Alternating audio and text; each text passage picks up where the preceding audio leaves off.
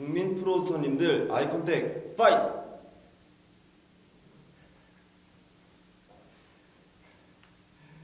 제가 안구건조증이 있는데 최대한 버텨보겠습니다. 여러분들에게 제 얼굴을 보여